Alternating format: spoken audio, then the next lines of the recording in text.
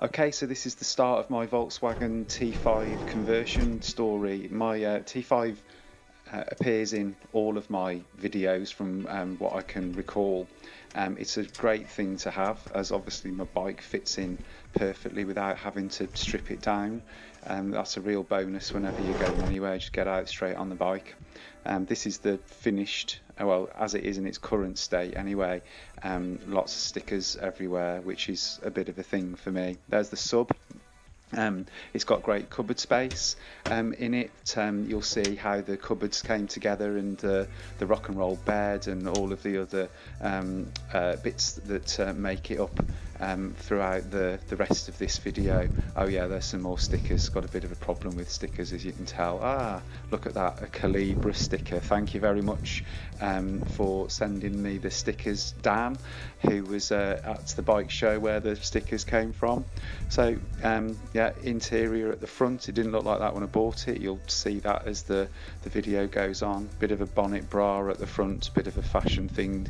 No, I don't think it actually does anything, but um, just makes it look a bit less like a, a works van. Um, a bit of lighting that I put in as well. So um, that's the sort of finished um, article um, as it stands. Back in August 2014, um, that's when I bought the van. Um, this was the very first day that I bought it. I spent about, from what I remember, about five grand on it. My my kids looked absolutely tiny there. Um, they they look like men nowadays. Four years on from there, um, it went straight to Volkswagen Buswerks in Whitchurch um, for the windows to be fitted. Um, so I didn't even bring it home. I just took it um, took it straight there, and uh, the uh, guy from Volkswagen Buswerks sent me this picture um, of the windows fitted. So yeah, when I got it back home, and where I was living at the time, and that's the, um, the the finished article in terms of the windows being fitted. I think what I spent about um, 220 pounds on the windows being fitted. Um, this is the interior of the van uh, as it was at the time. Um, it had belonged to prior to my owning it um, a kite surfing company so it had spent a lot of time on the beach there you go lots of uh, um, wooden panels inside it was a very pretty basic um, van uh, my old motorbike, that's my old um, Triumph Street Triple outside where I used to live. Um, yeah, there's loads of um, sort of phone accessories and stuff in it, like old school phone accessories. So those all needed ripping out. And oh yeah, look at Soundgarden playing on the um, radio there, one of my all-time favourites. This photo, yeah, all of this stuff I managed to rescue from down the dash, in, including a spare key and a dog chew and all that sort of stuff and those stickers all over the van inside um, originally, so they all needed um, stripping out. I can see there's an ion uh, sticker there, so yeah, I use ion knee protection now. So um, yeah, loads of insulation um, that was inside um, the van as well. One one of the issues about it being owned by a kite surfing company was the fact that um, salt water had seemed to get into some of the um, the areas. That was one of the speakers that I could see had been um, badly damaged by um, salt water and corrosion. So um, one of the first things that I needed to do was to get the um, the stereo sorted. The speakers were pretty useless anyway. So I yeah I don't use Halfords, but in this instance I used Halfords. They sorted out all of the speakers and tweeters and uh, uh, it was just an awful lot easier to get somebody to, to do it for me. I hate taking panels off um, and trying to get them back on without damaging them. But um, fair dues, I wouldn't allow Halfords to build me a bike, but I will allow them to um, fit some speakers in my van so yeah, I was I was um, pretty happy with that. Got some decent um, speakers, so the sound system's really good in there. Um, now you'll see, obviously you've seen already seen the sub in there, so it's a bit of a bit of a beast of a sound system. Um, the um, there were some really tatty Volkswagen logos on the wheels um, that wouldn't do. So I got these ones ordered. They were 6.99 nice and tidy.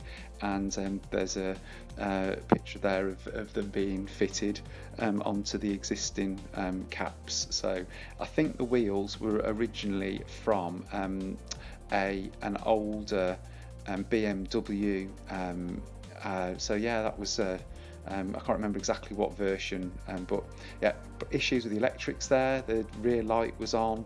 Um, this part of the um, the rear door was missing. Um, this was the damaged bit of uh, um, that was making the rear light stay on. So I needed to get some bits. I used TPS um, for anybody that uses Volkswagen stuff. T- a lot, lots of little bits and pieces came from um, TPS. So these two parts, they never seemed to cost me very much because I was buying things for the T5 gradually over a long period of time. Um, and eventually um, all the bits and pieces came together and um, once the um, parts here have been replaced on the rear rear door um, you can see here that the um, the electrical fault had actually been removed. So I was well happy with that. This was the where the rear view mirror would go in a in a van and the, the cap was missing so I put a post out on uh, the, one of the forums and asked um, where you could get them from, and somebody just came and put one through my door, asked my asked my address. Um, this strip was missing um, as well when I bought it, so um, a trip to TPS as usual to to get a replacement. I think this this part was actually quite expensive. I think I spent about 12 quid in TPS. That counter, um, I saw a lot of that counter during the conversion. Um, the next task then was around insulation and I spent a lot of time making sure the insulation was was absolutely um, sound on this van. So started to collect some bits and pieces and for that. Oh yeah, there's the um, the finished strip on there, which uh, actually in the end um, got covered, which you'll see in a later video.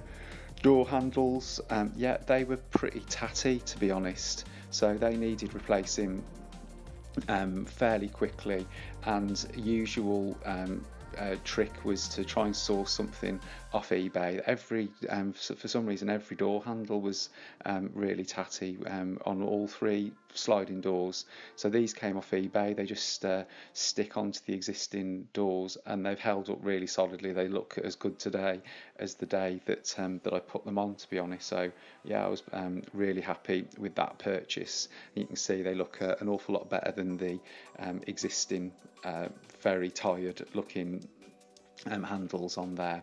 So that was a, an important, um, you know, aesthetic part of the um, the improvements. And you can see that the the van is starting to um, take a little bit of shape anyway. And this is the um, uh, where the um, tweeter covers are. That was really badly um, corroded, so I gave that a good clean up. And I rescued then um, the sub from my old Volkswagen Beetle. Yeah, I know that's terrible wiring, but um, I needed to um, bodge something together. Um, so this was part of my own work, not Halford's this time. I um, wanted to, to fit the sub. So um, the only way to um, fit a sub obviously is to get the um, the cable um, right the way through to the, the battery. So I needed to go through the bulkhead and um, there's a, a, a pre-existing hole in the bulkhead there to get the the cables through and yeah, quite happy. It uh, managed to get it through myself without any difficulties. Um, fed the cables all the way through and uh, got the sub fitted there. Um, and it's uh, stayed in the van ever since. Well happy. Uh, I think I did um, manage to kill the battery while I was um, fitting it though, so I managed to um, to, to fit that. And then um, yeah, a nice sunny day there with a with a rainbow too um, uh, one of the, the first journeys that I did and as you can see there the um, the, the, the tyres are um, fitted and um, hubcaps are on. Um, however one of the issues that I did have was the um, the wheels um, had a, a bit of an issue. And the the well that's an insulation picture there I'll come to that next. And um, there's the rusty um, seat cover. Um, while I was driving along the the wheels uh, when I got to about 60 miles an hour were rattling a bit and uh, I needed spigot rings as you can see in the picture there. Spigot rings basically help the wheel mount to the hub um, of a, a, different size and they weren't fitted on there so um, that was a, a, really important job I think it cost me oh, what was about five or six quid for the spigot rings maybe even less and you can see there that's the spigot ring fitted inside the um, the, the wheel itself um, wheels back on and yeah, the rattling completely stopped. I thought it was going to be a really bad, um, well, more really expensive fix, but I took it to. Um, I, thought, I thought it was an odd shaped or an egg shaped tyre that I'd got on that was making it rattle, but um, I was told when I took it into um, a tyre place that the um, spigot rings were missing, and obviously without the spigot rings, the um, wheels won't centre properly. So that was a, a really important job back to the rusty um, chair, of the, the driver's seat anyway, um, really badly corroded, as you can see, because of the fact that uh, it had spent a lot of time being sat um, in a, a wetsuit, and um, so that needed stripping out. So it's really important to remove the seat. You'll see in a couple of pictures time that the seat was really badly corroded. It was an absolute pain to get out because the seat bolts had got quite corroded as well. So I remember leaving the um, the bolts soaking in WD-40 overnight but yeah that got it sorted in the end and I was uh, happy to get the seat out. Um, again there's the picture of the, the, the damaged seat. It really needed quite a lot of work to get that back to um, sort of um, factory standard. Um, it took uh, um, a, a, lot of sanding, a lot of spraying, and that's the start of the sanding process and um, really got it down to quite a good finish in the end. The um, the the seat itself um, took uh, um, loads and loads of work to, to get it back to um, how it should be. I think a lot of lot of grinding, a lot of a lot of sanding. Um, it was a right mess, wasn't it? I'd forgotten how bad it was really. So this is the the start of the the spraying process. got lots of uh, of the um, newspaper to protect the seat itself. Um, I didn't uh, couldn't remove it. There's the the undercoat going on, and then the next stage was to get the um, the mats, well, sort of uh, satin black finish on it. So that was the um, an important part of the the job. Quite happy, looks all right, doesn't it? Um, compared to, to how it was. So it needed to go back into the the van. So that was the the next job. Um, the the the um, um, seat itself was a was a bit of a, a, wrestling match to get it back in, but all the plastics um, went back on, and there it is back in the back in the van, looking um, almost as good as new.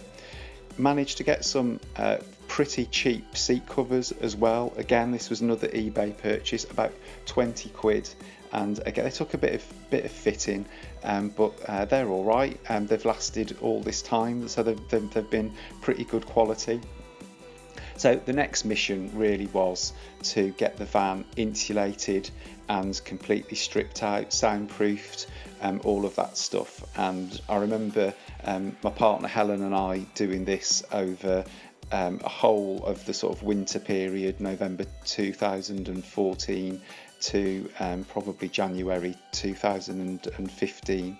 Um, the wooden panels all came out, and um, this is where the, the real hard work um, began. As you can see, um, it was uh, a, a you know, really was completely stripped down to, to bare metal. You can see here what sort of a state the van was in um, in terms of the um, insulation that was underneath the, the wooden boards. Um, I reckon there was probably about three ton of sand in there at the time because of the, the kite surfing. So a lot of work was involved in just just getting the the, the van back to a, a, state where you could um, work on it. Um, there's the the boards were actually in the van already, so that wasn't uh, too bad. So um, put some decent insulation on the bottom of the um, the the boarding um, that was in there already. I was quite fortunate there um, to to have some of the um, the, the boards already in. Um, I had a really nosy old neighbour at the time who always came and slowed me down. I probably would have finished the van in about 10 days if it wasn't for him.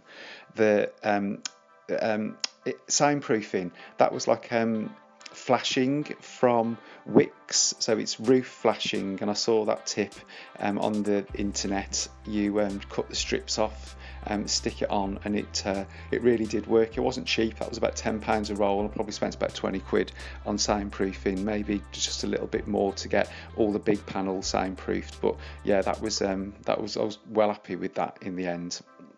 That was a, a good tip um, that I discovered. So this is the start of the insulation process. I just used um, radiator insulation for the vast majority of the these panels and um, silver insulation tape all of this stuff came from Wickes I remember um, and uh, I think I made a reasonable um, job of it. There's me um, really taking my time to insulate the, the doors and um, make sure that um, I'm doing the best possible job that I can um, the next image here is um, starting to see you know the insulation coming together. Loads of work involved in getting the van insulated, but it's paid off. And then I was very fortunate that um, my friend Chris, who was uh, um, did a, a, a, big job on his house, and he, he needed to get rid of some insulation, so um, he uh, he gave me a load of insulation, so I didn't have to buy any more after that point. He'd um, he'd insulated his loft and everything, and and had all that uh, stuff um, left over. So um, yeah, there's some more soundproofing on the the back doors. I think I probably went and bought some more soundproofing, and um, you can see the back door starting to come together pretty nicely there. Um, this image, um, I think, is the um, sliding door that was um, stripped out, and um, that insulation. Uh, noticed actually there's some um, soundproofing that that went in, and then the rear quarter panels as well that all got stripped out. Um, here is some of the, the insulation going in. So, you know, it's, it's one of those jobs that takes probably the longest on the van in total, really, of all, all the jobs I've done. But it's um, paid dividends in terms of um, the van being um, really quiet to, to drive and also um, it's uh, uh, great when you're sleeping in it as well. It uh, actually stays very warm. So the roof was done as well, and also um, you can see here right the way to the, the front cab was was done as well. I didn't actually do the cabin um, itself because ripping that out would have been um, pretty hard work.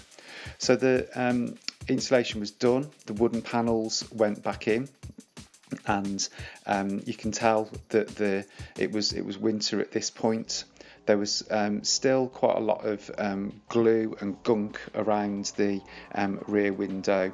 Um, I don't know what it was from, but that took me forever to, to get off. So I was pretty pleased to to get all that sorted. And then the van went off to back to Volkswagen Buswerks, where the van um, what went originally for its windows to be fitted, and uh, I was really pleased to get the van lined professionally. Um, there's no way I could have done as good a job as this. Um, some of the pictures are a bit dodgy because I remember taking these ones at night, but you'll get a, um, a better idea of what the um, the pictures look like in a, in a couple of um, couple of pictures time, where the um, the um, pictures are taken in the day. They did a really, really good job um, at Volkswagen Buswerks. Really happy with the way that it um, it turned out. You'll see in the the next um, the next slide here, that blue bit sticking out at the bottom is where the jack fits. The jack was originally just dumped under the, the chairs and they asked me whether I wanted to, to keep that and uh, I didn't even know what the where it um, what the jack stand was for. You can see they've done a really good job, haven't they? Well, well happy with that. It was really really nice and tidy. Um, I couldn't have done a, a good as job as that, not in a million years. It's a it's a real skill and a real craft, I think, to, to be able to um, to do that. So the van really started to come together at this point. So yeah, this is a, just a little bit more of the um, the rear lining well happy with that. And on to the next job. The next job was to get some flooring in. So this was just like normal um, vinyl from a, a, carpet place that I worked nearby dead uh, dead easy job to do. Um, for some reason, that had always been missing. This is the the rear door um, locking mechanism. So I think that cost me about two pound fifty, three quid from um, TPS again. Um, great to get these little jobs finished. The, the rear section of the, the vinyl left quite a hard edge, so I purchased some of this uh, um, aluminium door strip um, that again I think was from Wickes and just tidied up that uh, that rear section there. So yeah, I was well happy with that. Um, one of the problems that remained really was the fact that the um, the the step from the side door is at a different height, so I knew that was something I was going to need to do to get a, a rear step um, uh, with a, a, thicker thicker depth. Um, oh yeah, there's the jack that I mentioned earlier. So the jack actually just screws onto um, that, uh, that, that bit of um, metal that's exposed from underneath the um, the lining. So that's the that's the rear sorted. Well happy with that. It was uh, um, a, a, lot of work to get to that point, and you can see from um, that image there that the the van really is starting to um, look more like a, um, a camper van ready to be converted rather than the um, the rusty um, kite surfers van that I started off with. Um, the sub, one of the most important things. Um, you saw a bit of this um, uh, image earlier, and I didn't comment on it, but um, the nosy neighbour that um, I referred to. his wife's wheelchair used to go around on this, and he had no use for it anymore. So he gave it to me, and uh, he, he just said, "You can have that." So yeah, of course I'll take it tidied up the cables on the sub. And I saw this thing on eBay about using a heat gun to try and restore your um, bumpers back to black. You can see I did half and half there.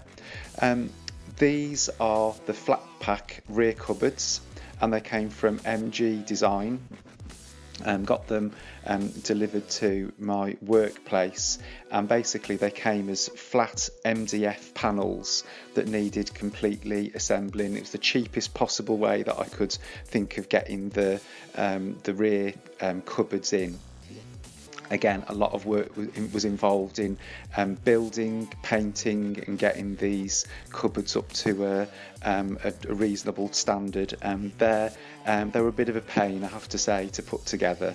Um, not the easiest thing in, in the world. There was some some of the wood sort of needed bending, so I had to use some um, straps there to get the the glue to all sort of hold together and we'd moved house by this point as well so I'd got a garage and a bit more space.